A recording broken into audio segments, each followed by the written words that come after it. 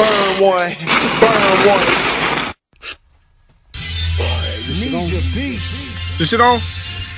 Put this fucking phone down. Hello? Hey, what the motherfucking business is, shout It's your boy Voreheez, aka Hollywood Heez, aka Blow Fraser, aka I got more money than your mama now. What's happening, home? It's your boy Voreheez, you know I'm talking about.